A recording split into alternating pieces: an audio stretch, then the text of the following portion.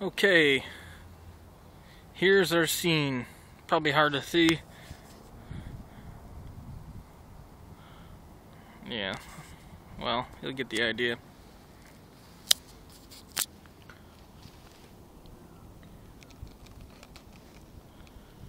Settings. I'm pointing it right at there. F8 to make it sharp, ISO 100, to keep the noise down. See, I'm in full manual. I'll turn the dial and my shutter speed will move around. See the little indicator there? Underexposed, overexposed. I have a 50 millimeter, so I want to keep it above 50 so I don't get no camera shake from my hand.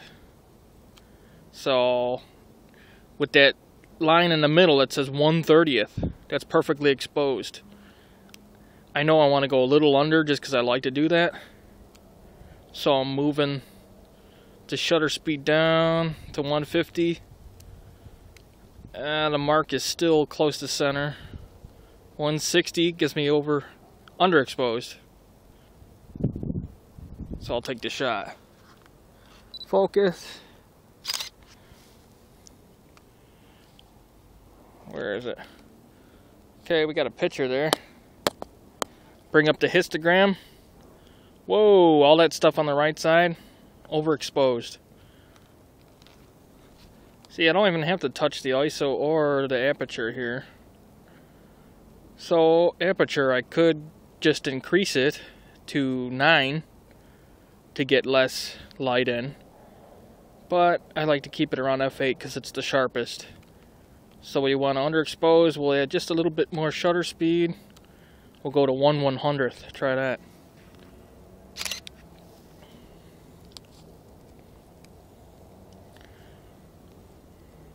There's the picture.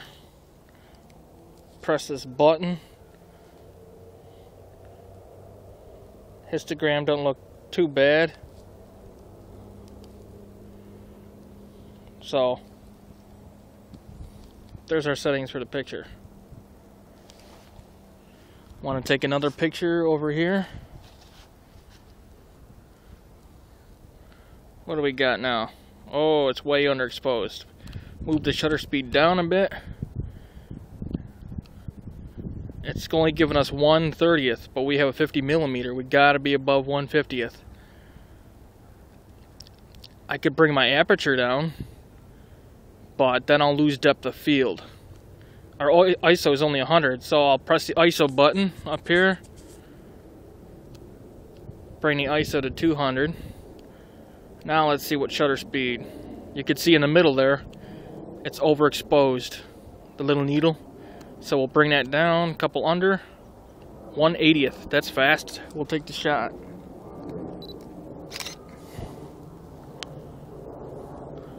Looks good, let's bring up the histogram. Oh, overexposed. You see all that stuff to the right?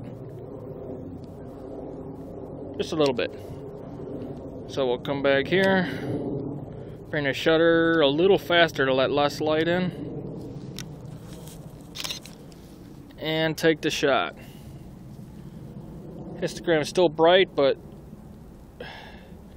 there's a little bit of space on the right side that's not taken up, so that's a good exposure. Full manual.